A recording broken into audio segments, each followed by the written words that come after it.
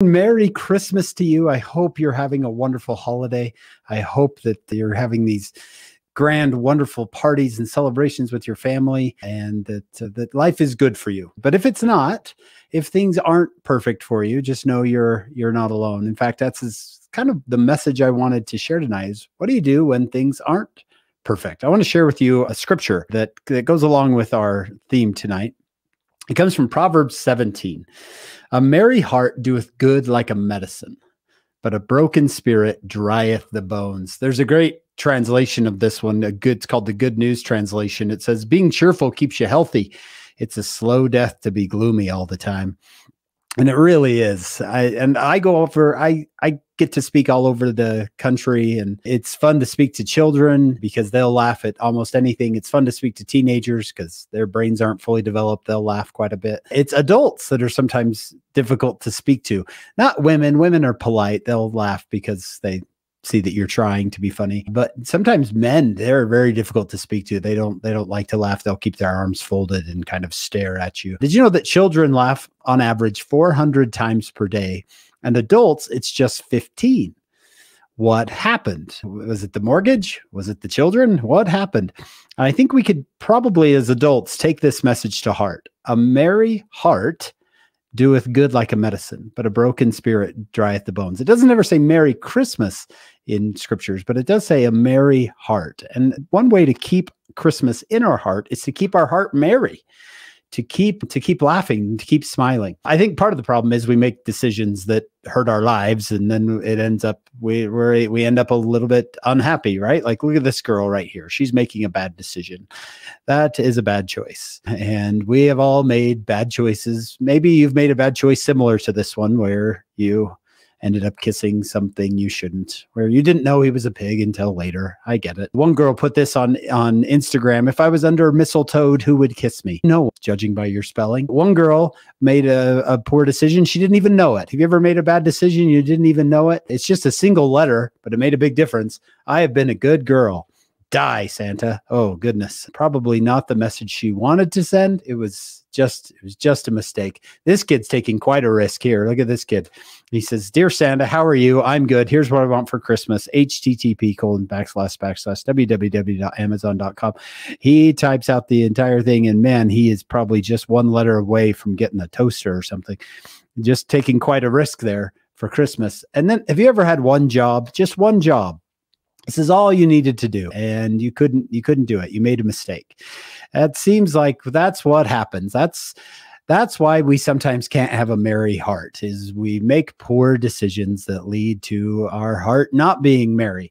But i was thinking could we could we choose to be happier? Could we choose to have a merry heart?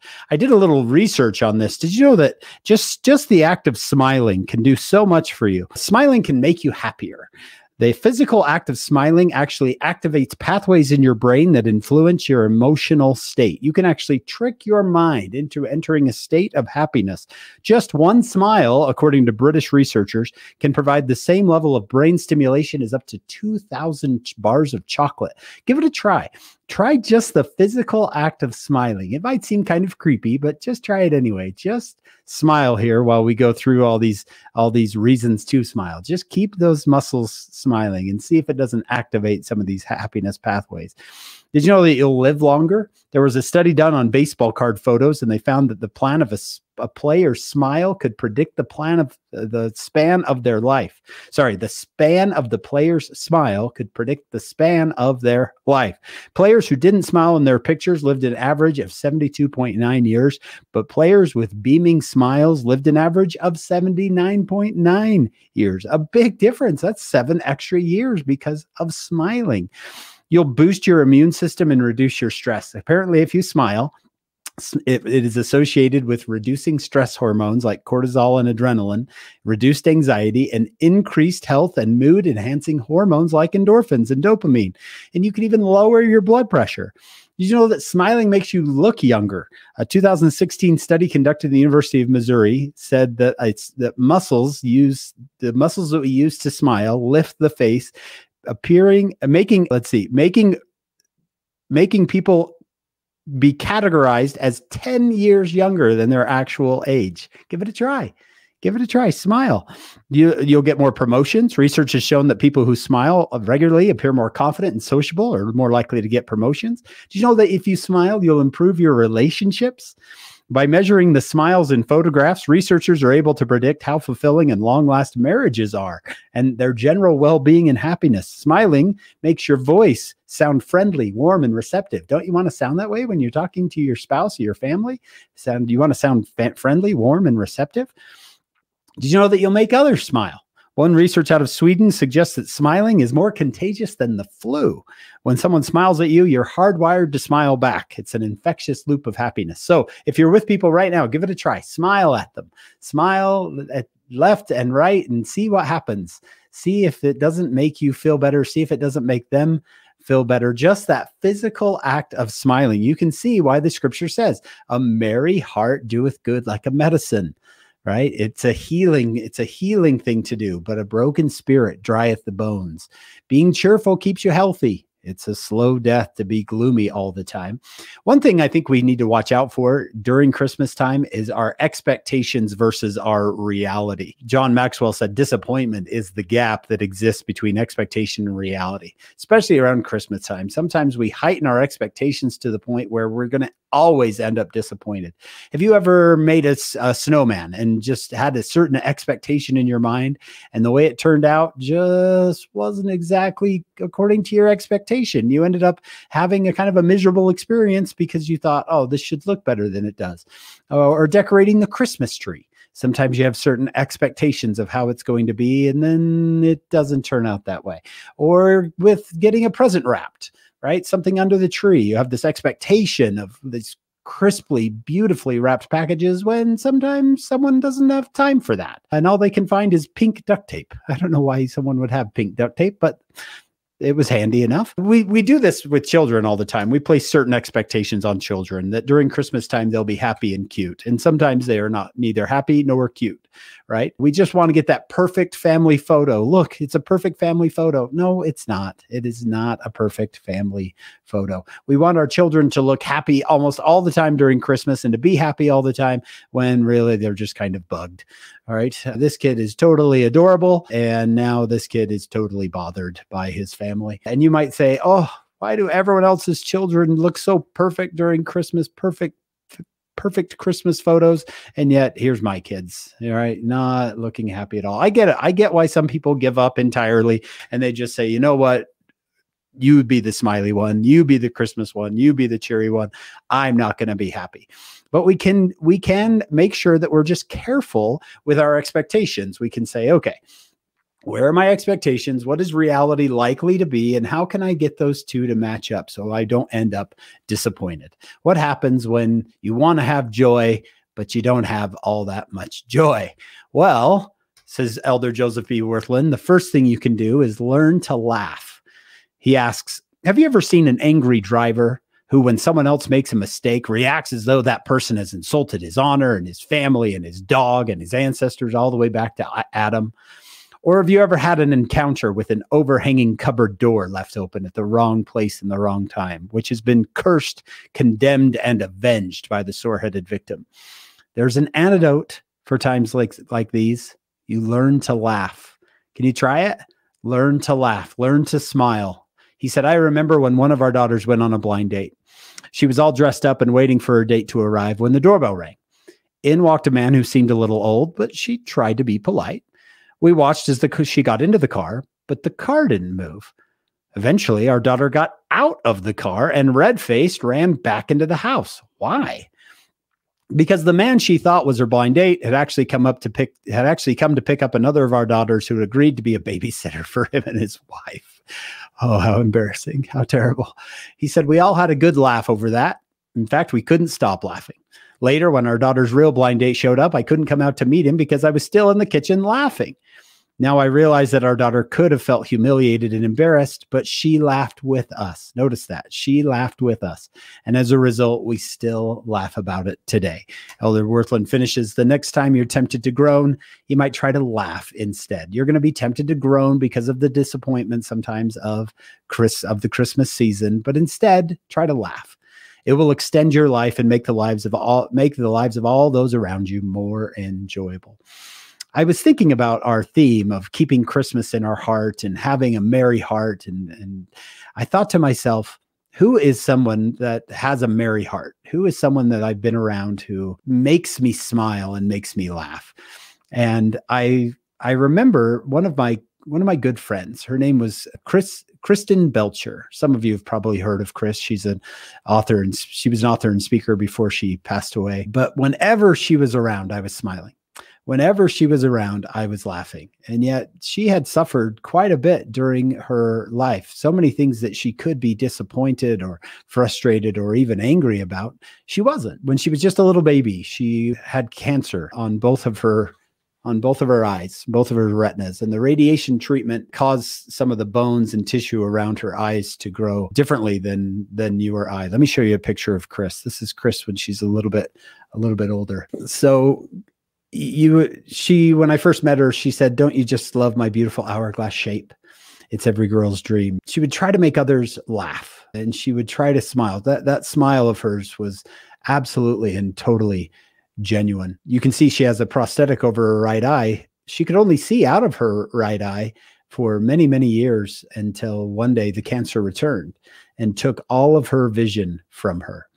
And I remember her asking me, she said, Hank, what do you think you'd look at if you knew you only had 10 days left to see? And I never even thought thought about that. Like what what what would I look at? What what what, what would I what would be important to me if I had if I had 10 days left to see? Because that's what they gave her. They gave her 10 days before they needed to take her right eye. She said, "Oh, I wanted to look at color. I was going to miss color." And and her children. She had two. She had two boys, Christopher and Benji. This is this is them right here.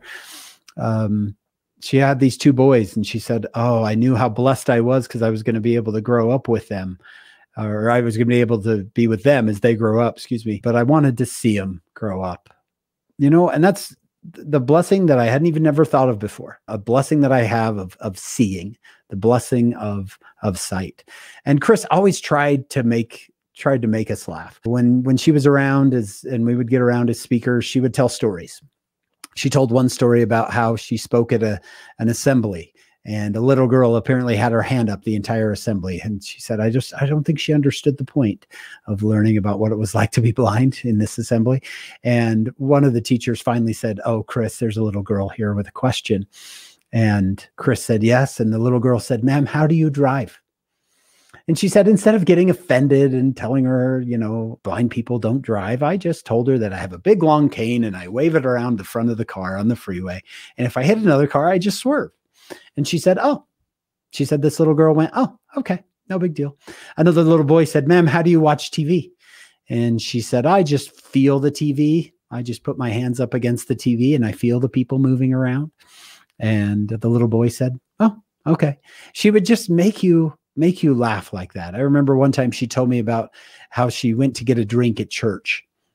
And she said, I listened for someone slurping at the drinking fountain and I couldn't hear anybody slurping at the drinking fountain. So I I decided that nobody was there and I went to get a drink. So she said, I put my hands down, hoping to feel that hard metal bar, you know, so I could get a drink. And she said, instead, I felt something really big and squishy. And I heard the oldest man in our ward go, and she said, Oh, goodness, what was he doing? Why was he not getting a drink? And she backed up and covered her face. And she even laughed at that. She said, Hank, why did I cover my eyes? Why did I cover my eyes? I was blind. But she said, Oh, I'm so sorry, Brother Johansson. Are you okay? And he said, I am now. Right. She just wanted us, she just wanted us to laugh. She wanted us to to take part in the joy that she experienced um, in in her heart and in her mind. She had this this merry heart, and to her, I think it truly was a medicine, and it was a medicine for all those people around her. Well, before she passed away, Chris wrote a book called Hard Times in Holy Places, and I wanted to show you. I want to finish today with what she said. She said this. No one schedules adversity.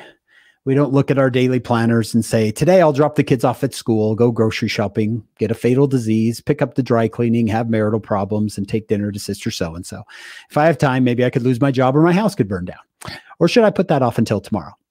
In this mortal world, we have no need to schedule trials, they just come. And I know that's happened to you. She said, Don't allow your heart to be hardened by hard times. Now, I know coming from me, you might say, Oh, Hank, you've never seen hard times like I have. But my friend Chris has. She has seen the hardest of times. She's dealt with spinal meningitis multiple times, having cancer, having gone blind, the pain associated with all the surgeries and, and all the pain and difficulty that has come with, with the, the, the, the health problems that she's had. And yet she still says to you and I, don't allow your heart to be hardened by hard times. Make the choice to turn to Christ. There is purpose in your suffering. You and I are being changed, remodeled, stretched, and polished for eternal glory. If we trust in and choose Christ amid our difficulties, our hard times will become holy. She talks about going blind. She said, I wish I could comfort the woman I was five years ago. I wish I could hold her in my arms and promise her that she would make it. Can you hear the you from the future kind of yelling back through through time, through decades of time, through years of time, that the pain is going to subside. I would tell her she's going to smile. She's even going to laugh again. I may have lost my sight, but my vision has never been clearer. As I was thinking about this, keeping Christmas in your heart and having a merry heart, I couldn't help but think of my friend Chris. I found this quote from Elder Soares, and I thought Chris would Chris would like this because this was this was her. The Savior's life was the perfect example of love and goodwill towards men. As we turn our hearts outward, like the Savior did, and that's what Chris did. When things got hard inward, she turned her heart outward. And I know that things were difficult for her, and and she was she wasn't shy about that. She wasn't shy about letting letting her friends know that when things were difficult, when things were hard, but she still turned her heart outward. As we turn our hearts outward like the Savior did, I promise that we can better experience the meaning of Christmas. And I leave that message with you in the name of Jesus Christ. Amen.